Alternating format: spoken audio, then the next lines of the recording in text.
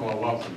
I'm Chris Durovich. I have the privilege of serving as the President and Chief Executive Officer here at Children's. And uh, it's my distinct pleasure uh, to welcome you here this afternoon uh, to announce, to celebrate uh, what is truly a transformational and far-reach- far-reaching, across generations gift for kids and families that trust us with that most sacred of trust, their health care. Uh, As many of you know, this is our 100th birthday. Founded in 1913, not too far from here at the corner of Maple and Oak Lawn, on the corner of what we today know as uh, Old Parkland. We've celebrated so many firsts throughout the course of this year. It really is a distinct privilege for us to announce this first today. And that is that we are the beneficiary at Children's Medical Center, uh, courtesy of the vision, the compassion, the stewardship, the confidence and the investment of the Rees-Jones Foundation, and we're joined today by Jan and Trevor and their president, T. Hardy, and the staff of the Rees-Jones Foundation. They have uh, very generously contributed to us $18.9 million. to form-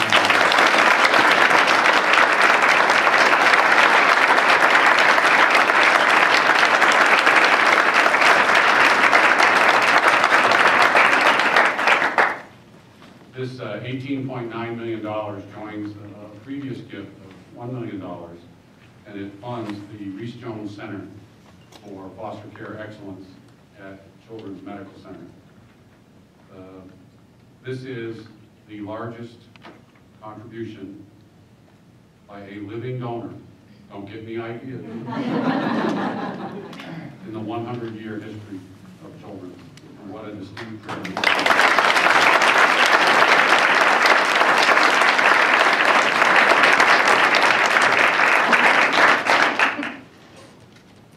Gift and the mission of the Foster Care Center is to further the health, development, well-being, assimilation, education regarding and advocacy about kids who are in foster care. We have a couple of foster care parents with us here today who know uh, more importantly and more precisely than any of us in this room, the enormous gift that they receive when they take these kids into their lives.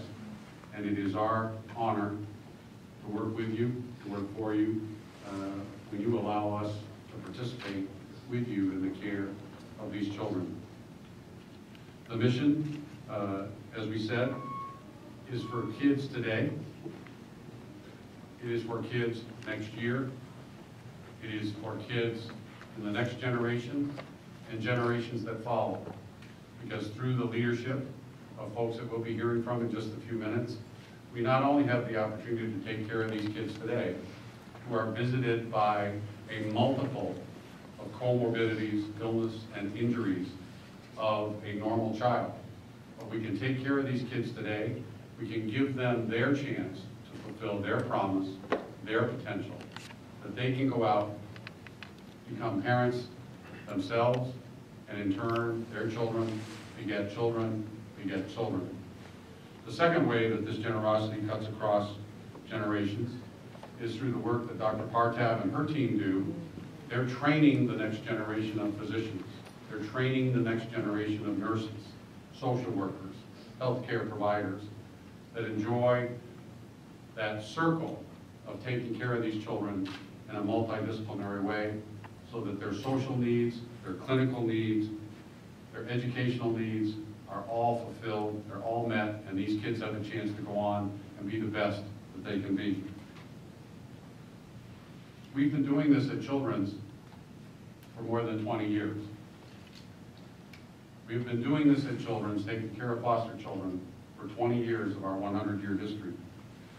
We do that in Region 3, which is our colleagues from uh, the good folks who help us with these children will tell you, uh, we have 6,000 kids in our region that are in foster care. Uh, Today, uh, we touch almost one in six, and we will be able to, to, to touch, by our estimate, at least three in six who need it by virtue of this gift. and we think that there's potential even beyond that. Right now, we serve these children and families 2,500 times a year, so that they can have a chance to get back to normal or to get to that normal. This enables us to bring together experts in pediatrics, developmental pediatrics, child welfare, um, our colleagues from the state, and our colleagues from the court-appointed special advocates. Did I do that right, Gina? CASA, that's what we call them, CASA, for children's. The point being that this holistic, multidisciplinary approach is going to have huge, far-reaching implications, not just for us and the kids that we take care of today, but for succeeding generation of children. We'll do this through three foster care clinics. We'll do this through our academic partnership with UT Southwestern and other healthcare professionally trained uh, organizations, colleges, universities from both uh, locally as well as across the country. And every step that we take, every diagnosis, every treatment that we participate in will add to the font of knowledge about what we know about children visited by foster care, and it will enable us to provide more precise, more compassionate, more innovative care for each kid and family.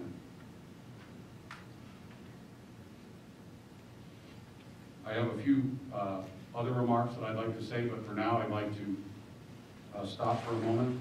And it is my uh, distinct privilege to introduce uh, a good friend of the kids in this community who is fulfilling the vision of Jan and Trevor in his uh, presidency of the Rees-Jones Foundation. So Trevor, I'd like to turn the podium over to you.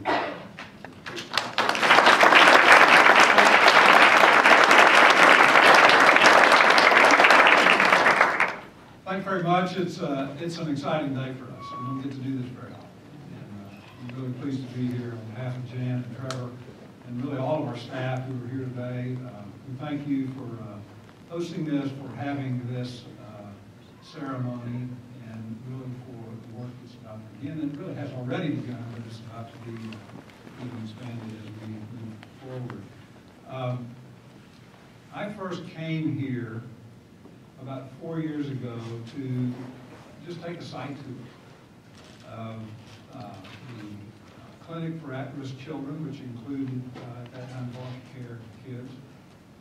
Uh, At that time, I met uh, Anu Partap for the first time, I think. She'd been here just a few months. Uh, We took a tour, we looked at what was going on there. We knew that we as a foundation had interest in child welfare, and particularly children that uh, uh, had come from situations of abuse and neglect um, that you often find with, with children in foster care.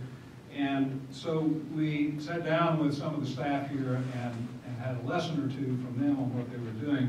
It was very easy to catch Dr. Partap's enthusiasm, her commitment, her passion for what she was doing, uh, her warmth, smile, all of that was immediate.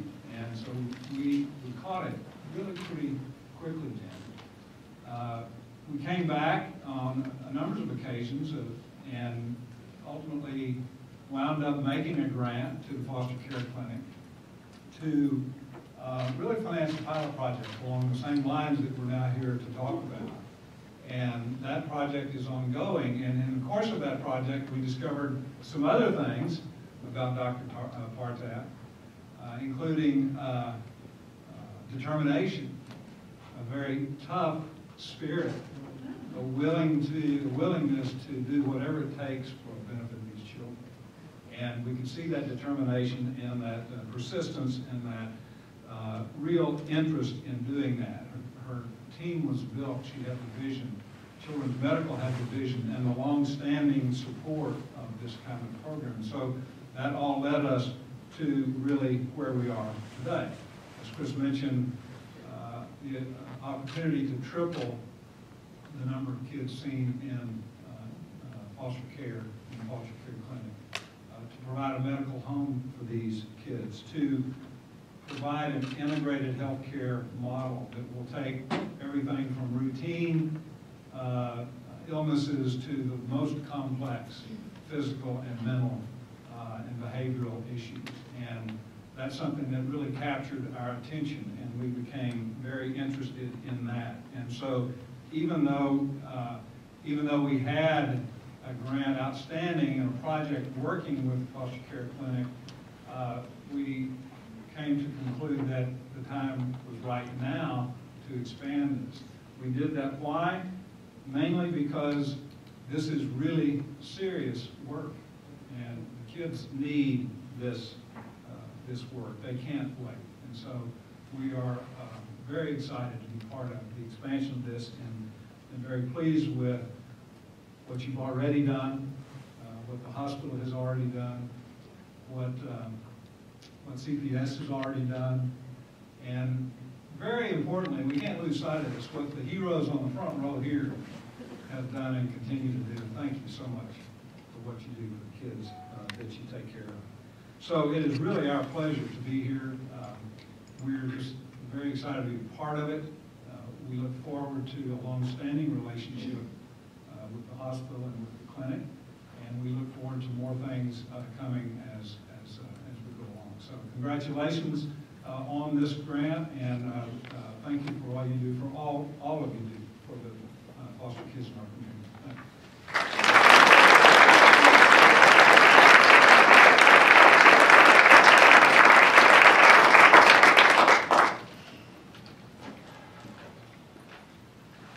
Next, it's uh, really a distinct privilege for me to introduce to you uh, the person who is the tireless voice, who is uh, indefatigable. How's that?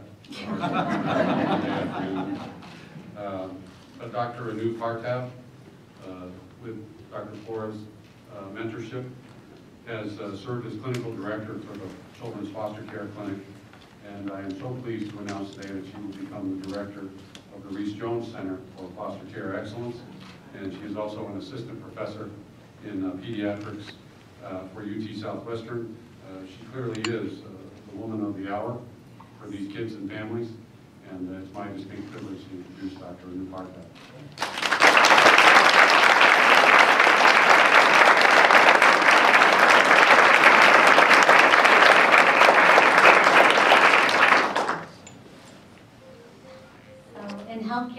Often you have a dream and then get to watch it come true. Uh, Mr. and Mrs. Rees-Jones, because of your love for and commitment for children in foster care, you've allowed us to fulfill our dream to launch the state's first center dedicated to the health, health care, and future outcomes of children in foster care. For the over 6,000 children in DFW area and 19 counties surrounding us, and the 17,000 victims of child abuse and neglect who enter foster care every year. This gift to us is really your gift to them. Thank you.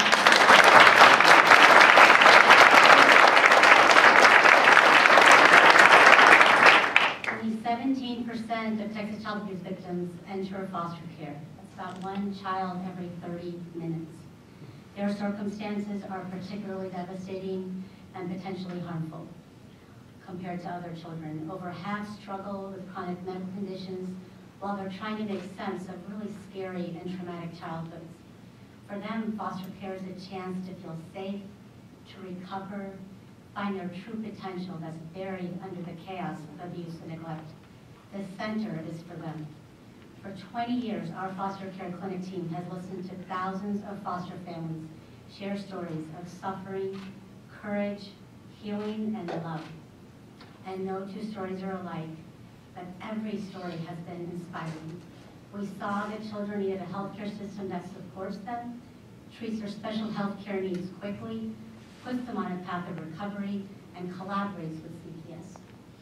Our families called on us to do more for kids who enter our doors, receive more children from further away, and make sure that all children, no matter what town they live in, receive the best possible health care to get their childhoods back on track. Establishing the Rees-Jones Center for Foster Care Excellence at Children's Medical Center allows us to answer that call.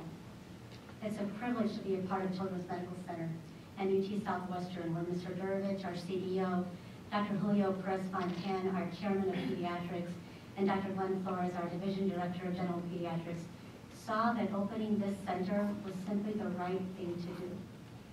We could not have pursued such a bold vision without support of CPS Assistant Commissioner Audrey Deckinga and her team. Thank you to all of them.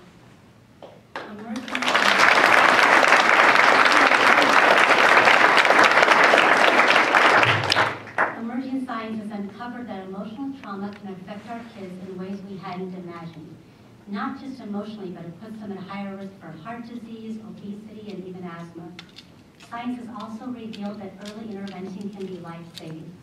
The center brings these latest findings and national foster care health standards into daily practice in North Texas through these three core areas, clinical, research, and community development. First, the center will roll out three state-of-the-art foster care health centers where child welfare, health care, and mental health teams will work side by side to provide comprehensive care for the complex medical and recovery needs of thousands of DFW families. Second, the center expands our research and academic programs to identify effective interventions and emerging health priorities, while also preparing future practitioners to meet the needs of children in foster care. Third, the center reflects children's long-standing commitment to community health through its broad education and advocacy activities in partnership with caregivers, CASAs, and other advocates to promote best practices to our state's most vulnerable children, no matter where they're being served. When our children in foster care are having rough days or dark days, we hope the center reminds families we are here for them, we believe in them, and we believe in the endless possibilities that await them. Hippocrates, the father of Western medicine, said, where there's love for mankind, there's love for the art of healing. Here we are, over 2,000 years later, keeping that tradition, tremendously grateful to the Rees-Jones Foundation for the opportunity to establish the center and shape how children in foster care heal so they can live healthy, fulfilling lives. Thank you all.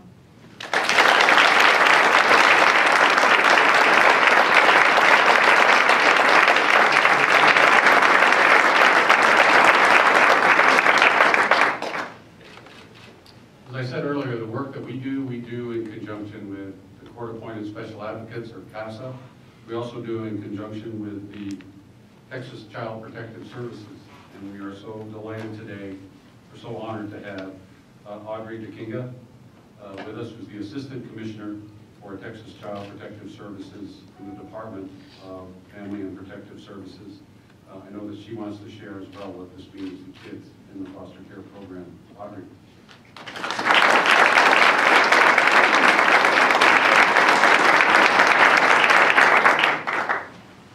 Good afternoon. Uh, How could anybody say no to Dr. Partap? Oh, that's what my life's been like since I've met her. I just don't say no. I am truly honored to be here. Um, I am so pleased that Rees-Jones has seen foster care and the children in foster care as one of their priorities, and, and we thank you so much for that. Uh, Your gift will do an enormous amount of good, as, as is the theme today, not only with this generation, but all succeeding generations. So it is, it is my pleasure to be here, and also to thank uh, Children's Medical Hospital. Uh, You have come such a long way, and you've always done such a good job with our kids. So, uh, thank you so much. We are very proud, CPS is very proud to, to partner with uh, Dr. Partap at Children's Medical Center on this initiative. And we absolutely firmly believe that um, this will be, that there will be wonderful outcomes that come from this initiative. Not only the health improvement, but also the well-being and getting children stabilized in their placements and making sure that foster parents and caseworkers know how to wrap services around them when they know how to, how to treat the children. So thank you. Thank you for putting this together. You are a visionary, Dr. Partap, um, and we are so appreciative that you use the vision for children in foster care. You do have, I don't know if I can say indefatigable, oh, well, maybe I did. Fabulous energy, and you have drawn us all into your vision, and we are all very grateful to you for doing that. thousand children in Region Three, which is the Dallas-Fort Worth area, in foster care. But statewide, at any given time, we have thirty thousand. And these children, by definition, have been abused or neglected. So they come to us with a lot of trauma. Sometimes it's physical trauma, but it's always emotional trauma. And I am so appreciative that the vision for this, these clinics is to treat the whole person and to make sure that not only are their physical all the other needs that this child has? I am so appreciative of all the uh, specialties that will be um, looked at here, that will look not only at physical, but developmental disabilities, that will look at the trauma. Dr. Karjap has been a wonderful collaborator with CPS on this. She has asked us what do we need. She has written it in to her proposal. We will have liaisons, and we really will be uh, a more effective child protective services system for the children that come through. State government and federal government can't do it alone. We can't. We need the vision of people like Dr. Partap. We need the funding of foundations. We need our advocates and all the wonderful stakeholders. I love Dallas. Y'all know how to collaborate. You do a great job. Um, I know, I know almost all the stakeholders here because they make themselves known to us. And they do advocate for us. And we are very appreciative of the entire community, with everybody represented here, coming together for children who are so often forgotten or not cared for. Now, my vision for this is to not only see this project get off the ground here in Dallas and surrounding counties, but let's see it going statewide. Let's see what we can learn here. Let's have the next generation of doctors ready to go out all over the state of Texas to replicate this vision and improve the outcomes for children in foster care. And then, as Texas goes, so does the nation. As we're going to do this nationally. Thank you all.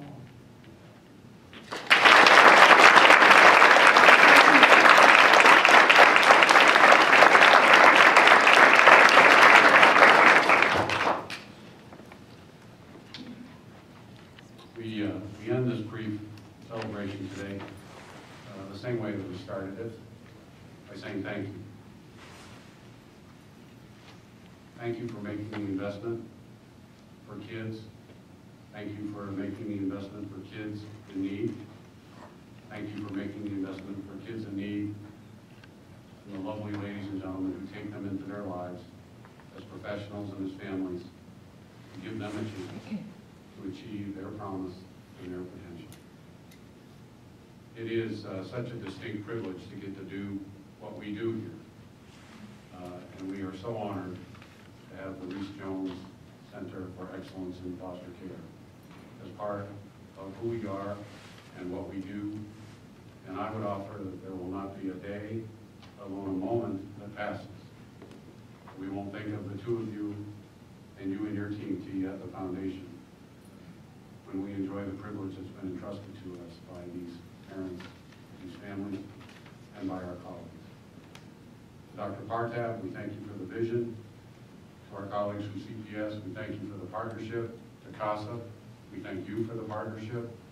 But foremost, uh, we thank you for giving us the chance to do what we love to do, what we strive to do, to leave a mark upon these children and families and to do that not only today, but in the days and weeks and years and decades to come.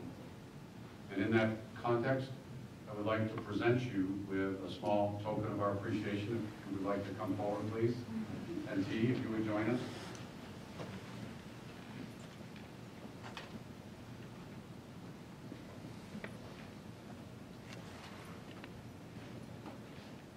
I will read this for the benefit of the people still standing in the back of the room. See, that's.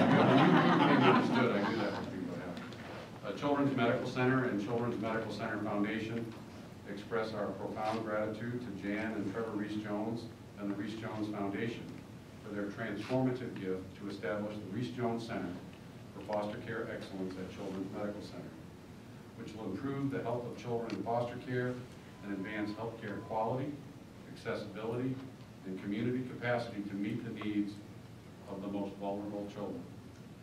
Given this day, December 2nd, 2003, in Dallas, Texas, uh, signed by Dr. Partap, signed by Dr. Wildenthal, the president of our foundation, and myself.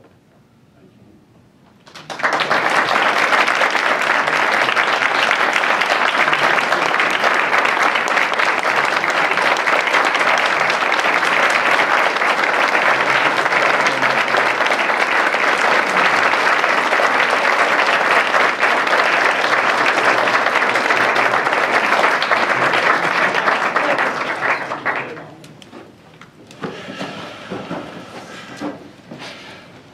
It's always a collective sigh from the chairs. Still working on it. Uh, Thank you all for being part of this wonderful celebration today. I know we have refreshments in the back of the room. Uh, I know that our, our team will be here uh, for a few more minutes, that you can thank them personally.